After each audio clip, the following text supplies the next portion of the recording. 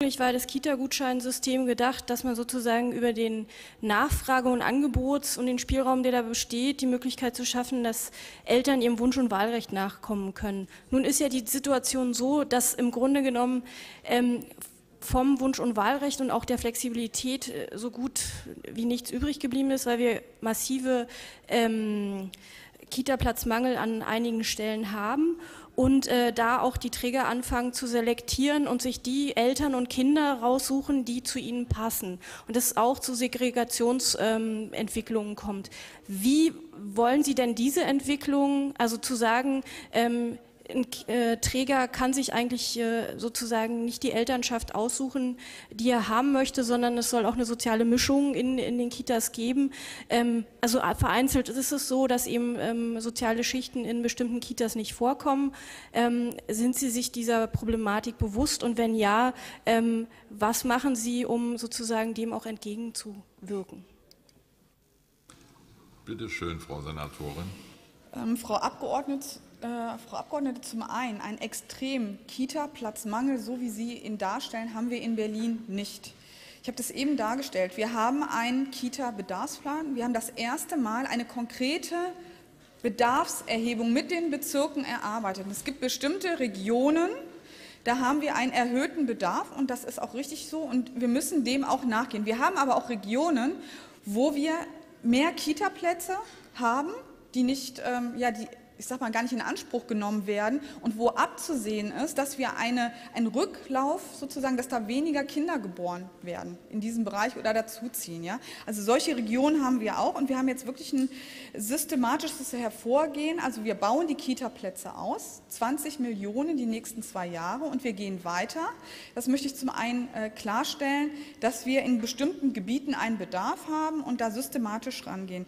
Wir haben das Wunsch- und Wahlrecht und das ist richtig so und deswegen Deswegen melden sich auch Eltern in unterschiedlichen Kitas an, weil sie natürlich äh, die Plätze in den Kitas haben wollen, die sie gut finden. Und das finde ich auch richtig so.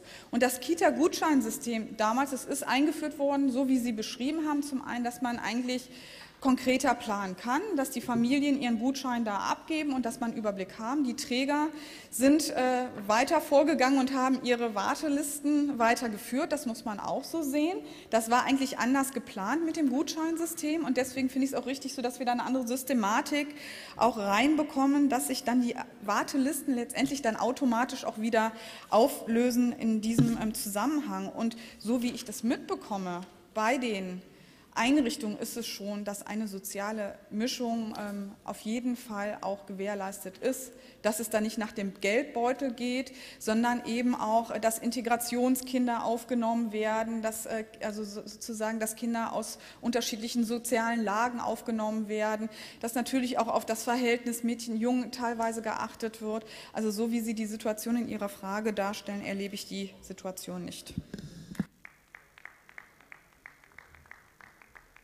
Vielen Dank. Dann kommen wir jetzt zur laufenden Nummer 10 vom Kollegen Philipp Magalski von den Piratensituation am Bärenzwinger. Bitte schön, Herr Kollege.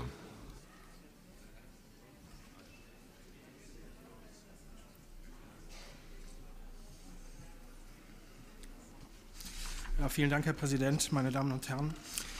Ähm, ich frage den Senat, betrachtet der Senat die Haltung der Bären Schnute und Maxi im Bärenzwinger am Kölnischen Park als artgerecht und zweitens, wie steht der Senat grundsätzlich zu einer Verbringung der Bären in einen weitläufigeren Bärenpark?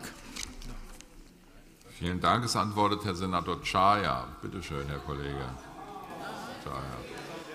Ja, euer Bärchen, genau. Ähm, meine sehr geehrten Damen und Herren, Herr Kollege Magalski, ich beantworte Ihre Frage gerne für den Justiz- und Verbraucherschutzsenator, der auf Kongressen und Veranstaltungen und weiß ich nicht wo unterwegs ist. Ihr Einverständnis vorausgesetzt, ziehe ich die Antworten zusammen. Die Haltung der Bären im Bärenzwinger am Kölnischen Park entspricht den Vorgaben des Paragraphen 2 Tierschutzgesetz in Verbindung mit dem bundesweit geltenden Gutachten über die Mindestanforderungen an die Haltung von Säugetieren. Trotz dieser Rechtslage hat auch der Tierschutzbeauftragte des Landes Berlin Bedenken hinsichtlich der Haltung der Bären geäußert. Diese Bedenken sind durchaus nachvollziehbar. Andererseits ist bei der Entscheidung über eine Umsetzung nach Expertenmeinung zu berücksichtigen, dass die beiden Bären bereits ein hohes Alter erreicht haben, einmal 25 und einmal 30 Jahre. sie, an ihr Umfeld, sie sich an ihr Umfeld gewöhnt haben und mit einer Umsetzung eine für die Bären durchaus belastende Anpassung an die neue Umgebung verbunden wäre. Des Weiteren liegt die Entscheidung über eine Verbringung der Bären in einen weitläufigen Bärenpark allein beim verantwortlichen Bezirk Mitte. Nach Auffassung des Senats sowie des zuständigen Veterinär- und Lebensmittelaufsichtsamtes besteht aus tierschutzrechtlichen Gründen keine zwingende Notwendigkeit zur Umsetzung der beiden Bären, da sowohl das ihnen zur Verfügung stehende Areal als auch die Einrichtung sowie Art und Umfang der Beschäftigung des Personals mit den Tieren den tierschutzrechtlichen Vorgaben genügen. Der Vorgängersenat, und das kannte ich auch noch aus meiner Tätigkeit als Abgeordneter, hatte sich mit dem Bezirk Mitte im vergangenen Jahr darauf verständigt, dass die Tiere bis auf weiteres am Kölnischen Park verbleiben und nach deren Ableben dort zukünftig keine weiteren Bären mehr gehalten werden sollten. Der Zoo oder Tierpark sagte zu, dass nach dem Tod eines der beiden Bären das verbleibende Tier bei Bedarf, wenn dies gewünscht wird, in die Haltung des Zoos oder des Tierparks übernommen werden könnte. Äh, vielen Dank, Herr Kollege Magalski. Haben Sie eine Nachfrage? Bitte schön. Ich sehe, dass sich da auf jeden Fall was bewegt. Ähm, ich darf aber in diesem Zusammenhang als, es als Unsitte bezeichnen, Lebewesen ohne Not in Käfige zu sperren, anstatt ihnen eine natürliche Lebensweise zu ermöglichen. Und die Zeiten, wo, sich Wappentiere, äh, wo man sich Wappentiere bei Hofe hält, sind äh, hoffentlich, gehören hoffentlich der Vergangenheit an. Äh, darum auch meine Nachfrage, ob der Senat gewillt ist, die aktuellen also nicht die Zustände, die zuletzt geprüft wurden vor einiger Zeit, die aktuellen Zustände im Bärenzwinger am Kölnischen Park, auch unter Mitwirkung des in Kürze neu zu benennenden Landestierschutzbeauftragten erneut zu prüfen. Bitte schön, Herr Senator. Also appellieren dürfen Sie natürlich ähm, am laufenden Band. Sie sind ja Parlamentarier, deswegen nehme ich das soweit äh, zur Kenntnis. Ob man wirklich alle Tiere aus Käfigen entlassen sollten, wage ich zu bezweifeln, aber Sie können sich damit sicherlich im Fachausschuss auseinandersetzen. Ähm, die Fragestellung, ob der ob der Senat bzw. die Senatsverwaltung sich damit immer wieder auseinandersetzt, die ist schon dahingehend gegeben, weil die Tierschutzverbände regelmäßig in diesem Zusammenhang nachfragen. Ich kenne das auch noch aus der Zeit, als ich in dem zuständigen Ausschuss war und immer wieder über die Frage dort gesprochen wurde. Nur wissen Sie, und es steht auch an dem Bärenzwinger im Übrigen dran, dass das zu erwartende Lebensalter von Bären sehr viel geringer ist als das Alter, was die Bären derzeitig haben. Also nicht mehr davon auszugehen ist, dass diese Bären da ausgesprochen lange leben werden und es deswegen unter tierschutzrechtlichen Gesichtspunkten richtig ist, das jetzt derzeitig so zu, so zu belasten, wie es ist.